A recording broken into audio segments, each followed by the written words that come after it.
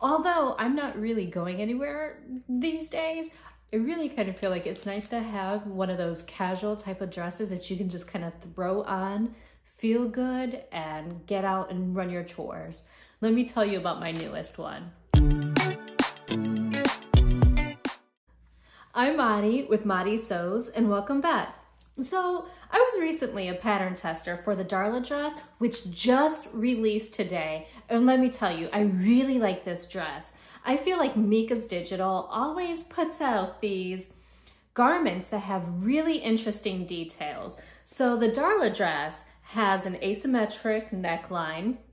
It has ruching down the side of the sleeve. I went and I added some extra embellishments. We'll talk about that in a second. And it has a bunch of ruching at the shoulder line coming coming across the bust and then also from the midsection down in the front, not the back, so only the front, which I think is actually a really cute detail. Um, so you want to use stretchy knit fabrics with a lot of really good recovery on it. So something with like 50% stretch that's going to bounce back would be really nice for this one. I actually didn't have anything in my stash that I could use for this dress. If I had the fabric, like a rayon spandex blend or something like that, I just didn't have enough of it and I needed at least three yards to make this dress. So I did have to run over to Joann's to make, well, basically just to get some fabric. And while I was walking down the aisles, they had a bunch of really cute options a girl loves to shop.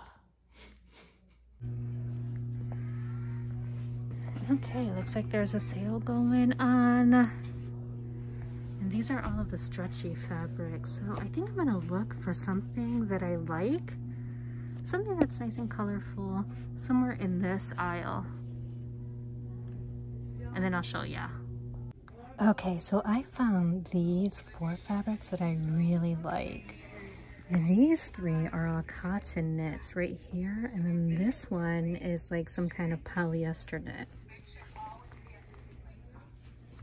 I really do like all of these, and part of me thinks this girly cheetah print would be amazing, but the other badass part of me wants some camo. Oh, the options, the options. Let's see. So this camo is $12.99 and it's 30% off. And you know these coupons don't work. And then this one is $9.99 and it's 25% off. Gosh, man, maybe I'll just, I want them all, but I don't need them all. I really do want them all. So I did end up going with the cotton knit um, in the camouflage, which of course you see that I'm wearing that. So surprise. But I also wanted something to kind of like zhuzh up my dress, right? I mean, I love really fun details. So while I was walking around Joann's, I was looking for maybe something that I could, like some kind of applique or something. And I ran across these studs. And let me tell you, I really love these things. Now there's 80 in a pack. These are the square studs um, and they come to a little point. I picked up all three packs that they had and quite honestly, I don't know why because there's 80 in each pack and I don't know why I felt like I needed, what is that, 240? it's okay. I'll be, I'll be, you all are going to be seeing gold studs on a whole lot of stuff. Fair warning. You all, last week was a killer for me. I was working on this conference and it just, it sucked the juice right out of me. So this dress actually didn't get finished before we packed up the cars and started driving over to Florida. Um, we're currently staying with my in-laws and we'll be working from here for a good amount of time. But because my dress wasn't finished, I decided to take all of my studs and my dress with me and it was my car project. I seriously was just popping these things in and closing out those prongs on the back until I had something that I felt looked really cute. And honestly, I really do love the look of the studs. This dress goes up to a 6X. Let's talk about the sizing that I chose to do for myself and the process that went into actually putting this dress together. My full bust is 44 inches and then my hips are 49 inches. And so when I was looking at the size chart, I decided to do the extra large up top and I graded out to a 1X for my hips and brought that down.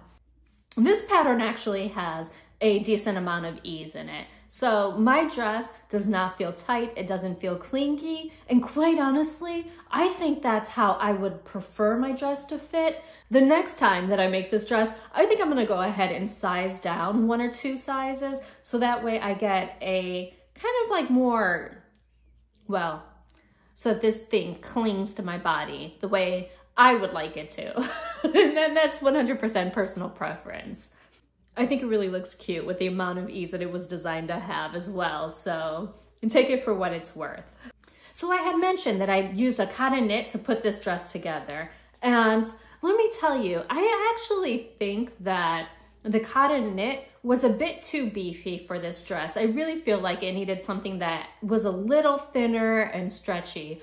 Um, mostly because as I was doing the gathers in the shoulder over here, I felt like I gathered it as much as I could and it wasn't enough. Um, I still had a larger front panel than the back.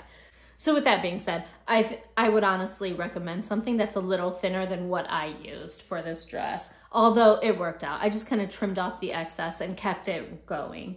Because the side panel has a lot of ruching in it as well, I decided to take all of my gathers up to mid bust and I started from that area and then I gathered it basically coming up. So it was a lot of gathering, but I really think that that's what makes this dress as cute as it is.